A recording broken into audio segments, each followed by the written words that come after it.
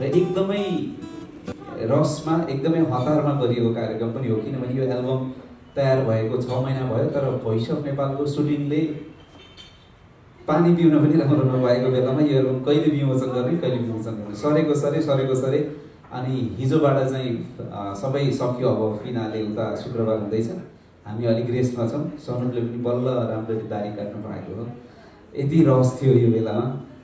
अनि यो एल्बम विमोचन समारोहमा उपस्थित सबैलाई हार्दिक स्वागत छ र यो मेरो करियरको चाहिँ पहिलो भजन एल्बम बन्न पुग्यो यसको गीतकार निर्भीम विष्टजी हुनुहुन्छ क्यानाडामा हुनुहुन्छ अनि म क्यानाडा गएको बेला नै उहाँले मलाई प्रपोज गर्नुभयो यस्तो यस्तो छ भजन गरौँ भनेपछि भजनमा म एक्साइटेड थिएँ हुन त भजन भन्ने बित्तिकै अलिकति अलिकति उमेर ढल्क्यो कि क्या हो भन्ने धेरैले सोचेको सोध्नु पनि भयो मलाई भजन एल्बम गर्दैछु भन्दाखेरि।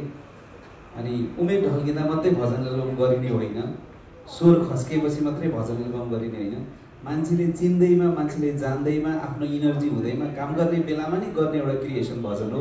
भजन जस्तो चिजलाई त उमेरले रोक्दै रोक्दैन। हामीले झन् भजन भनेको एउटा आत्मा बोलिने हो एउटा मनको भाव बोलिने चिज हो। त्यो त हामी जुनै पनि उमेरमा गर्न सक्छौँ। जस्तो लाग्यो। अनि मैले भीमजीलाई भने ओके हामी गरौँ। भने त्यसपछि सङ्गीतकार हाम्रो दिपक भट्टराईजी हुन्छ जापानमा बस्नुहुन्छ। एकदमै मलाई मनपर्ने सङ्गीतकार उहाँको मैले कहिले पनि काम गरेको थिएन तर धेरै सुनेको थिएँ मैले उहाँको कामहरू। अत्यन्तै म्युजिकलाई बुझेर सङ्गीत गर्ने सङ्गीतकार उहाँ भएपछि अनि उहाँले मलाई डमी पठाउनुहुन्थ्यो। गीत क्यानाडाबाट जापान जान्थ्यो शब्द जापानबाट डमी मलाई पठाउनुहुन्थ्यो। मैले यहाँ एरेन्जर आदरणीय दाईहरू यहाँ आज एरेन्जर सङ्गीत संयोजक मा काम गर्नेहरू उपस्थित भएको देखेको छैन सायद आउँदै हुन्छ होला। सबैलाई बाँडी अनि दिपकजी लास्टमा रेकर्डिङको टाइममा बिस दिनलाई छुट्याएर नेपाल आउनुभयो। अनि दुईवटा दुईवटा दुईवटा गरेर यसरी बाँडियो छिटो काम गर्नलाई र गीतको भावले पनि त्यही माग्यो जो जसलाई यो गीत न्याय हुन्छ भनेर नि हामीले काम गऱ्यौँ। मलाई धेरै बोल्न चाहिँ आउँदैन एकदम छोटो बोल्नु पनि भनिरहन्छ मलाई अलिक बोल्न सिक्नु हुन्छ अब कति मिठो मिठो कुराहरू गरिसक्नुभयो पनि भनिसक्नुभयो। सबैले कुरा गरिसक्नुभयो तर मलाई भजन भनेको गाउन चाहिँ एकदमै मनपर्ने कुरा रेकर्ड चाहिँ आजसम्म गरेको छैन आज चाहिँ धेरै इन्सपायर भएको छु म। पक्कै रामदाईले पनि धेरै इन्सपायर गर्नु मेरो मित्रले पनि धेरै इन्सपायर गर्यो। पक्कै पनि म गर्छु भन्ने भयो। तर यसले एउटा स्पिरिचुअल लेभलमा धेरै काम चाहिँ गर्दो रहेछ भन्ने कुरा मैले पनि अनुभव गरेको छु। झनै एउटा व्यक्तिलाई एकजना भनौँ न एउटा हामी जस्तो मान्छेहरूलाई स्पेसली म्युजिसियन्सहरूलाई त झनै छिटै कनेक्ट गराउँछ कि डिभाइनसँग भन्ने किसिमको विश्वास हो एउटा किन music as as a musicians हामी अलरेडी कनेक्टेड हुन्छौँ कि भगवान्सँग एउटा डिभाइनसँग झन् यसलाई मेनिफेस्ट गर्न सिक्यौँ यसरी रेकर्ड गरेर के गऱ्यौँ भने पक्कै पनि एउटा इन्सपिरेसन त सबैलाई आउँछ धेरै कुरा त हामीले सुनिहाल्यौँ बारेमा बारेमा मैले पनि केही यो हाम्रो प्रमोद खरेलको केही गीतहरू उहाँको सुमधुर स्वरमा सुन्ने मौका पाएको थिएँ। र आज भजन पनि सुन्न पाउँदाखेरि मलाई अत्यन्त खुसी लाग्यो।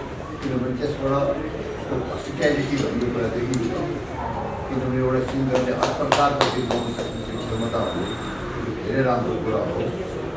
र साथै म आफ्ना पुराना दिनहरू पनि सम्झिन्छु केही उसमा मेरा केही भजनहरू प्रेम ढोजीले पनि गाउनु भएको थियो ज्ञानबहादुरले गाउनु भएको थियो अब त्यो रेडियोले सब मासेर सिद्धाएर चाहिँ बेग्लै कुरो हो त्यही भएर यो भजनको एउटा आफ्नै विशेषता हुन्छ यसले माने भित्र भिगेर थुन सक्ने क्षमता हुन्छ यो हामीले पढेर मात्रै होइन कि हामीले देखेर जस्तो यो हामीले यो आध्यात्मिक फिल्महरू हेरेर पनि हामीले त्यो ज्ञान हासिल गर्न सक्छौँ। मलाई लाग्छ प्रमोद भाइ निकै र उसले मिल्ने गीत बोल्ने जस्तो लाग्यो है कपाल सफल दारी सारी पालेको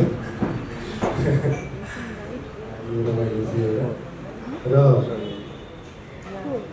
भजनको अघि प्रमोद भाइले पनि कुरा गरेँ मैले यो एउटा भनाइ त्यो सोच मैले पहिलादेखि नै राखेर आएको थिएँ मैले पनि केही भजनको एल्बमहरू गरेको छु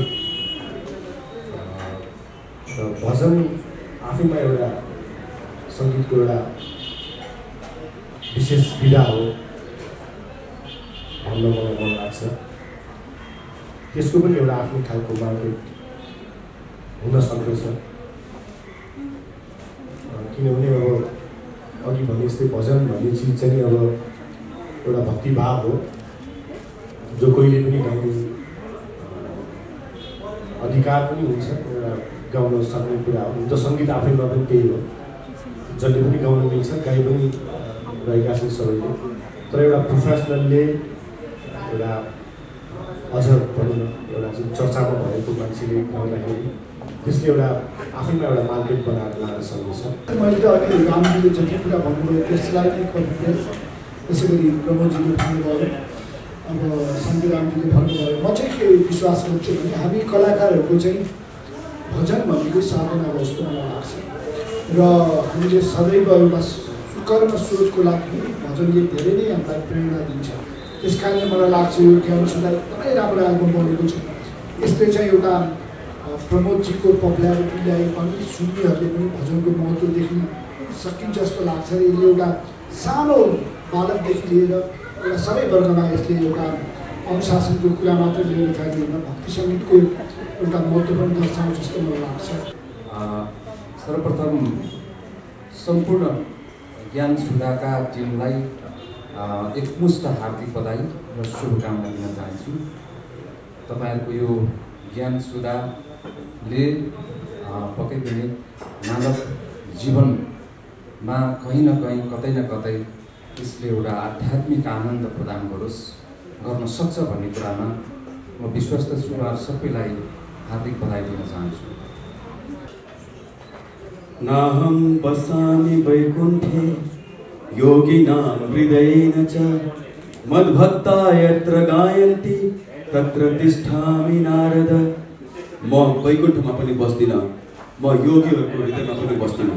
म त त्यहाँ बस्छु जहाँ भक्ति सङ्गीत गुन्जायमान हुन्छ अर्थात् ज्ञान सुधा जहाँ गुन्जिरहेको हुन्छ म त्यही वरपर हुन्छु भनेर भगवान् कृष्णले भन्नुभएको छ।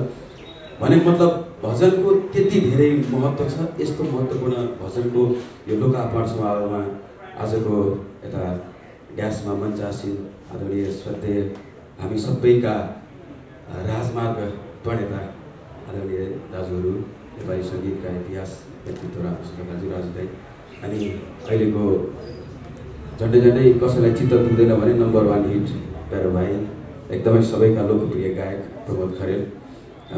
धेरै धेरै धन्यवाद सुमनजीलाई पनि सम्पूर्ण पत्रकार महानुभावहरूलाई। यस्तो महत्त्वपूर्ण घडीमा छौँ हामी आज र मलाई एउटा चाहिँ खुसी के लागेको छ यस अर्थमा भने प्रस्त समाजको तर्फबाट या सङ्गीतको एउटा विद्यार्थी सङ्गीतको साधक सामान्य व्यक्तिको हिसाबले भन्दाखेरि पनि के लाग्छ भने एउटा राम्रो मान्छेले जे काम गर्छ समाजको लागि जो एउटा आइकोन बनेर बसेको छ आइडल बनेको छ जसलाई समाजले पछ्याउँछ जसका पदचापहरू निहालेर हिँड्छ हिँड्न मन पराउँछ रुचाउँछ त्यस्तो मान्छेले के काम गर्छ भन्ने कुरा महत्त्वपूर्ण हुन्छ। र त्यस्तो मान्छेले जब यदि राम्रो काम गर्छ भने धेरै मर्न लागेकाहरू धेरै बिग्रन लागेकाहरू मर्न लागेकाहरू बाँच्छन् बिग्रिन लागेकाहरू बन्छन्। होइन असतोमा सद्गमय तमसोमा ज्योतिर्गमय मृत्युमा मृतम गमय त्यो अर्थ राख्दछ यो घडीले यो विमोचनले र यो भजन सङ्ग्रहको प्रकाशनले। धेरै धेरै धन्यवाद। अनि बधाई दिन चाहन्छु सम्पूर्ण भनौँ यो टिममा प्रत्यक्ष परोक्ष रूपले लाग्नु हुनेहरूलाई र विशेष गरी प्रमोद खरेलका लागि धेरै धेरै शुभकामना। अनि सङ्गीतकार गीतकारलाई पनि धेरै धेरै बधाई। र सबैलाई एउटा मर्न लागेको व्यक्तिलाई भजनले कोही मान्छे किन मर्छ? यो चिज एकदम महत्त्वपूर्ण कुरा छ है। मान्छे किन झुन्डिन्छ? उसलाई कुनै देखिँदैन कतै आशा देख्दैन उसैले। कसै कोही पनि उसको रहँदैन।